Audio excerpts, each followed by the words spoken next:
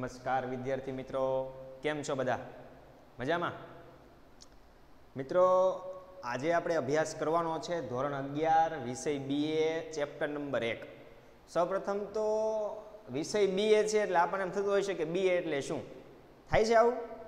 હા બીએ એટલે શું થાય? ચાલો તમે કહો તો, તમે જ કહો, ચાલો. ચોપડીમાં આપણને ઘણા બધા પુસ્તક લીધા હશે. બરાબર? એમાં બીએ એટલે શું થાય? તમે કહો ને. નથી ખબર? ચાલો.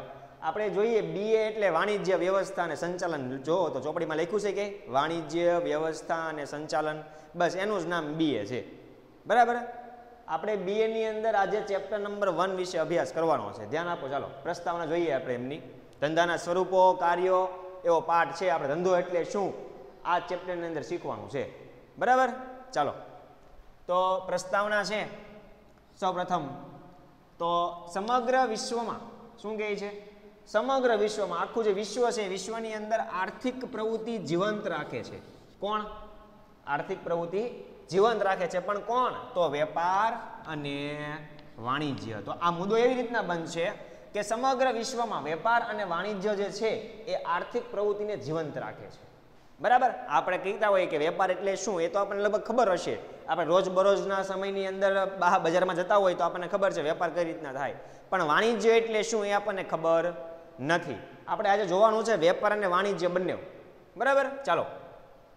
બે વ્યક્તિઓ વચ્ચે નફાના હેતુથી વસ્તુ કે સેવાનો નાણાંના બદલામાં વિનિમય. જો, ખાસ સમજો બે વ્યક્તિ. કેટલા? બે વ્યક્તિઓ વચ્ચે નફાનો હેતુ હોવો જોઈએ. વચ્ચે કંઈક નફો મળવો જોઈએ. બરાબર? નફાના હેતુથી વસ્તુ કે સેવાના બદલામાં નાણાંનો વિનિમય.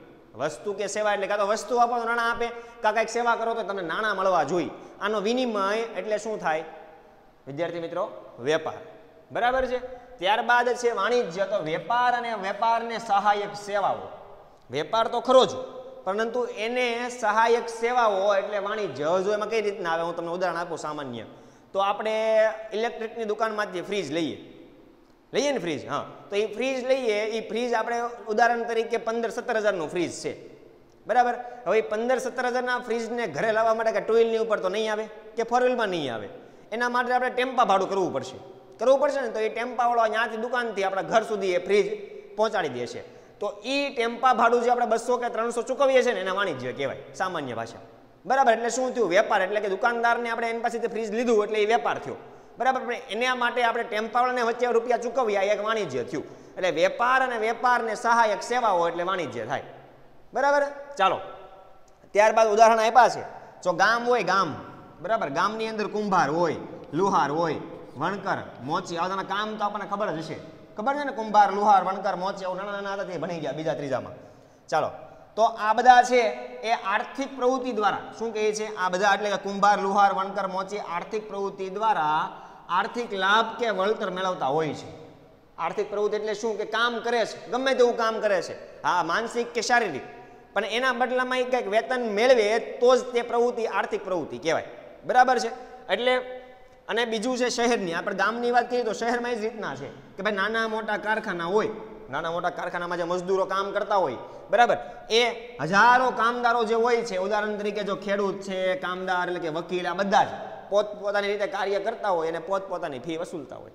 સામાન્ય ઉદાહરણ જો, હવે ખેડૂત છે એ ખેતી કરે, તો ખેતી કરીને પાછળનું કાંઈક તો કારણ હોય ને કે ભાઈ પાકનું સારું ઉત્પાદન થાય, ત્યારબાદ તે બીજા ગામની અંદર અથવા તો બીજા કોઈ ખેડૂતને અથવા બીજા કોઈ વેપારીને એ વસ્તુ વેચશે તો એના બદલામાં એમને નાણાં મળશે. કાંઈક કોકીને કાંઈકની પાછળ કાંઈક કારણ હોય, તો જ તે કાંઈક વસ્તુ કરતો હોય. હવે બીજું છે કામદાર, કે કામદારને કામ કરે તો એમને શું મળે? આવક મળે. આવક મળે તો પોતાના નાના છોકરા હોય ઘરમાં, એમનું રોજગારી ચાલે. ત્યારબાદ છે વકીલ. તો વકીલ કોઈકનો કેસ લડવા માટે અથવા તો કંઈ કાર્ય કરવા માટે એમની પાસેથી ફી વસૂલતો હોય. શા માટે? કારણ કે કાર્ય કરે છે એટલે.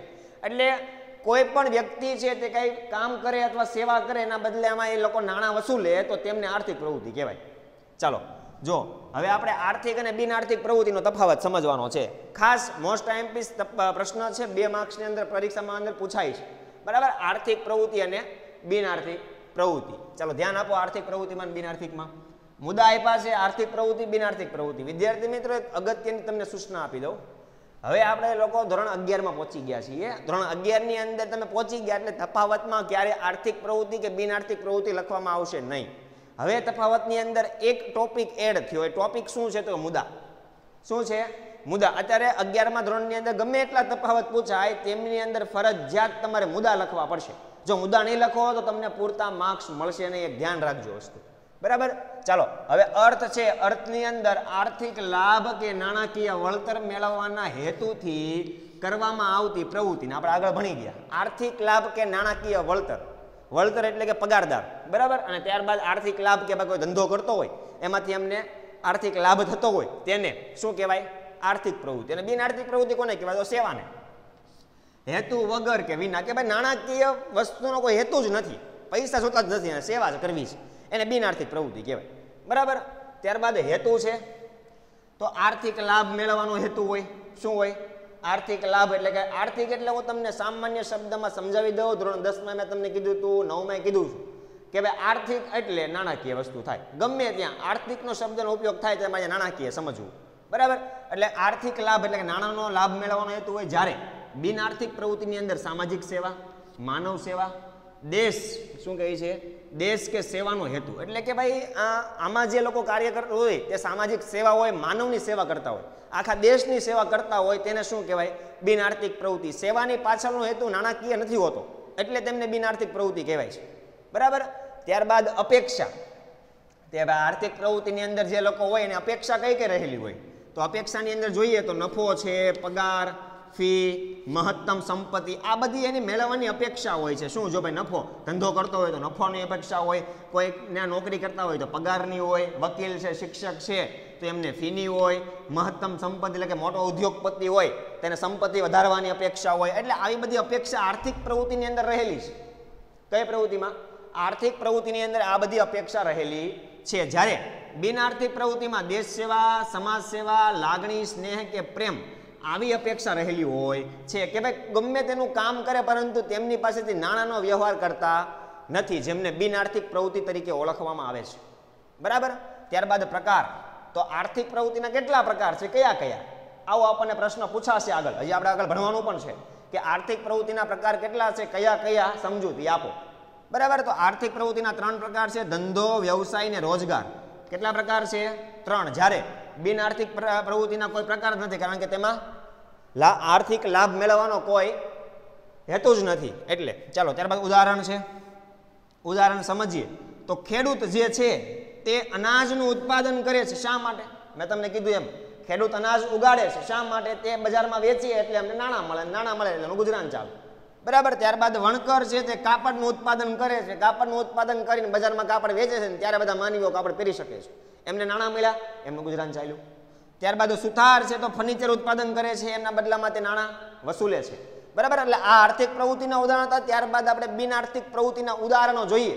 તો તેમની અંદર જે સમાજ સેવક છે તે સમાજની સેવા કરે છે, પરંતુ તેના બદલામાં તે નાણાં વસૂલતો નથી. બરાબર? ત્યારબાદ માતા પોતાનો બાળકનો ઉછેર કરે છે. જો, સામાન્ય ઉદાહરણ મેળવીએ. તો માતા છે એ બાળકનો શું ઉછેર કરે? તો મોટો થઈને એમ કે તારાની ફી આપવાની છે. નહીં. તે એક પ્રેમની ભાવના છે, તે એક લાગણીની ભાવના છે, જેમને બિન આર્થિક પ્રવૃત્તિ કહેવાય છે. બરાબર કે જે કાંઈ પણ કામ કરે છે, તે તેમના પ્રેમથી કરે છે, લાગણીથી કરે છે, કોઈ નાણાકીય વ્યવહારથી કરતા નથી. એટલા માટે તેમને બિન આર્થિક પ્રવૃત્તિ તરીકે ઓળખવામાં આવે છે. ત્યારબાદ કુદરતી હોનારત થાય અને એ જોવા આવતા કાર્ય કરો કુદરતી હોનારત હમણાં આપણે સામાન્ય ઉદાહરણમાં જોઈએ તો હમણાં જ આપણે વાવાઝોડું આવ્યું હતું. સૌરાષ્ટ્રની અંદર બહુ ખૂબ નુકસાન થયું છે. તો અત્યારે સુરતથી લોકો ત્યાં સેવા કરવા માટે જાય છે. સાત સાત આઠ આઠ દિવસ કે દસ દસ દિવસ ત્યાં પાવર નહોતો છતાં અહીંથી જનરેટર લઈને ગયા. તો એક સેવાનો ભાવ હતો. ત્યાં જઈને કોઈને એમ નથી કીધું કે ભાઈ તમે જનરેટર આપો, તમે મને બસો રૂપિયા આપો, પાંચસો રૂપિયા આપો. બરાબર શું કામ? કારણ કે અહીંથી એ લોકો સેવા કરવા માટે ત્યાં ગયા છે અને ત્યાં સેવા કરે છે. એટલા માટે તે બિન આર્થિક પ્રવૃત્તિ છે. આર્થિક પ્રવૃત્તિ નથી. બરાબર, એટલે આર્થિક પ્રવૃત્તિ અને બિન આર્થિક પ્રવૃત્તિનો તફાવત સમજ્યા, એ તફાવત આપણને પરીક્ષાની અંદર બે અથવા ત્રણ ગુણની અંદર પૂછાય છે. બરાબર, એટલે આ ખાસ સમજી લેજો ત્યારબાદ એ પહેલાં આપણે પ્રસ્તાવના જોઈ. એ પ્રસ્તાવના ઉપરથી જ આખો પાઠનું વિસ્તૃત માહિતી છે. આ મેં તમને બેઝિકમાં પ્રસ્તાવના કરી દીધી. ચાલો, એક મિનિટ માટે હું હટી જાઉં છું. તમે લોકો આ બોર્ડ પર લખેલું છે, તે એકવાર નોટબુકમાં લખી નાખો અને એમનું વાંચન પણ કરી નાખજો, એટલે આપણને સહેલાઈથી યાદ રહી જાય અને પૂરેપૂરા માર્ક્સ આવવાની સંભાવના રહે. બરાબર?